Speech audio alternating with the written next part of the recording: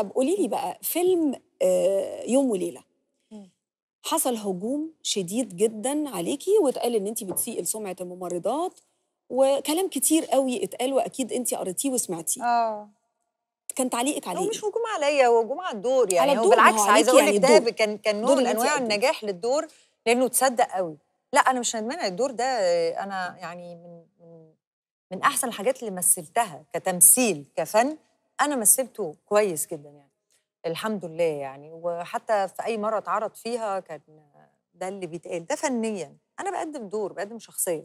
زي ما ممكن نقدم طب ما الممثلة شخصية الممثلة اتقدمت كتير بكذا طريقة ممكن ما تكونش إيجابية.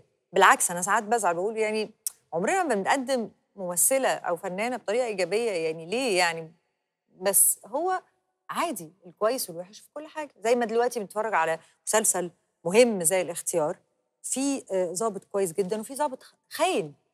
في الوطني ال- الشريف اللي اللي بيضحي بنفسه آه، وبحياته عشان وطنه وبلده وعشان مصر وفي اللي بيخون. طبعا. في نموذج جه في المسلسل لواحد خاين.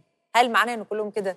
فأنا لما أعمل ممرضة واحدة نموذج واحد آه، مش كويس مثلا أو أو بيعمل حاجة غلط ده مش معناه إن كلهم كده بالعكس. ده معناه إن دي نموذج كده. وليه؟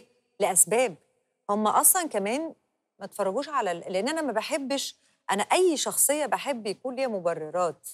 يعني وباين يعني حتى لما عملت سجن النساء وشخصية دلال دي اللي هي يعني فتاة الليل. فتاة الليل برضو كنا عاملين لها قصة يعني كان ليها قصة وليها مبررات وليها والمجتمع كان قاسي عليها والمجتمع قادها لل- للطريق ده في ممكن طبعا هي فتاة ولكن في؟ نفس الوقت آه ممكن لو في. أسباب ده بالعكس دي بتصعب عليا بتصعب عليك بتصعب عليا طبعا وخصوصا لما عملت الدور يعني حسيت لأ ده أكيد دي هي حاجة مهينة اللي بتعملها غير إن هي طبعا مش هندخل في الشق ال- الأخلاقي المرفوض ولكن كمان هي حاجة قاسية ومهينة يعني مم. أكيد محدش عايز كده بمزاجه أكيد ظروفه حطيتها في كده حطيتها في كده طبعا. هي لازم آه. ترفض مهما كان الظروف ولكن لو هي راحت لده أكيد مش أكيد نتيجة- هي كانت تتمنى تكون في حياة الظروف. أحلى من كده وأحسن و...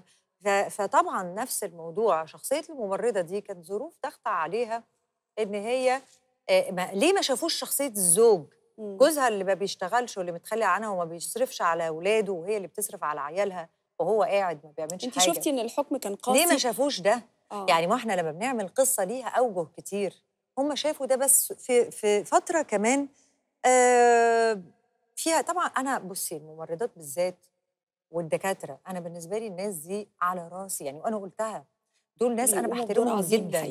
دي آه من أنبل الشغلانات في في الكون في الدنيا من ساعة. ما ما اتخلق البني آدم أنت بتشفي ناس أنت بت- بترعى آه، يعني أنت دول مش من فراغ إن هم آه، بنسميهم يعني الممرضه دي ملاك يعني طبعا طبعا يعني لا يعني آه، بنسميهم الجيش الأبيض. بعد كده إن هم فعلا ممكن يعرضوا نفسهم للخطر عشان الناس وهم مهمين لا، هم جدا. مش ممكن هم وأنا بيعرضوا على فكرة على المستوى عشان الناس. بصي في حاجات كده بتتقال وبعدين انت على المستوى الشخصي في الحياة أنا ما فيش مرة رحت مستشفى أو دكتور أو حاجة وما كانوش بيحبوني ويقولوا لي بنحبك وأنا بحبهم وكل الحاجات دي. طبعاً ده الواقع. طب- إنما اللي بيتقال ده انت قدمتي دور ممرضة مثلا آه، بتقبل بتاخد رشوه ولا بتعمل حاجة غلط ولا بتسرق دواء ولا اخلاقيا مش كويسة مش ولا حاجة؟ معناها إن هم. كلهم كده.